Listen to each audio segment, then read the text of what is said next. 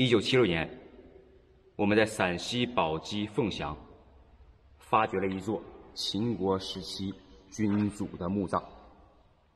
这座墓葬是目前我国发现最大的单体墓葬。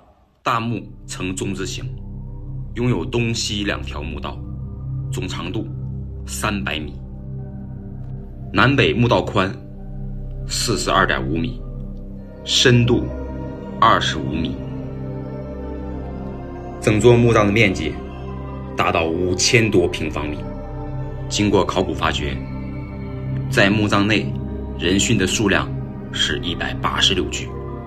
最让人感到震撼的是，每一具尸骨都呈惊恐状，屈膝而葬。整座墓葬还发现了二百四十七个盗洞，但是。依然出土了三千五百多件文物。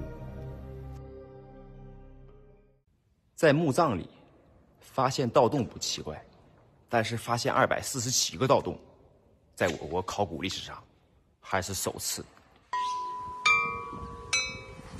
这个呀叫石磬，是古代的一种乐器。我们根据出土的石磬呢，上面刻的铭文来判断。墓主人是秦国第十四代君主秦景公。这个啊，就是景公大墓的黄肠题凑啊。这一根木头啊，是三百公斤，总共出土了多少根呢？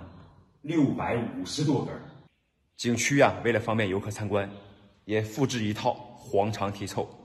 那么接下来啊，大龙就带你们进去看一看。咱们现在下去看看啊，带你们走进椁室内，感受一下。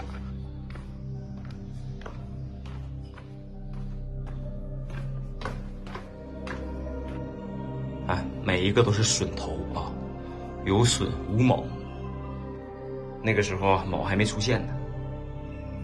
下去啊，这个位置啊，是以前这个椁室啊盗洞的位置，我们现在做成一个门。这就是黄肠题凑的内部啊，大家看一下，啊，属于一室一厅啊，在这个位置啊，有一个坑，这里边当时咱们考古发现的是狗的骨头，说明是狗殉啊，狗属于阳物，以避不祥。七六年到八六年，我们整整发掘了十年，有十多个盗洞啊。打穿了这个黄肠题臭的椁室，虽然出土了三千五百多件文物，但大多数啊都是盗墓贼遗弃的。景公啊，在位时间长达四十多年，如此奢华的国具啊，在春秋时期，说明当时秦国呀根本不把周天子放在眼里。当时在国室外啊，还有两个墓碑，这两个墓碑。